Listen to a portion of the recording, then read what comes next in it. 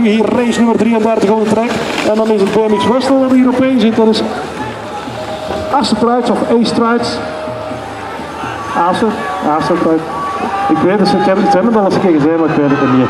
Het is in ieder geval meneer Traats op de eerste positie. En op die tweede plaats zien we daar PFC Cycling. En dat is Roel van Gerechten. Met op die derde plaats dan uh, die 147 nummer. En dat moet dan uh, Finn Machiel zijn.